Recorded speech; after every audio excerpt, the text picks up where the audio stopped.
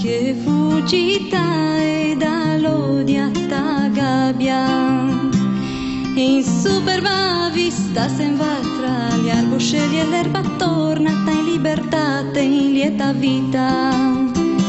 E rioda l'amorosi la ciuscita scernendo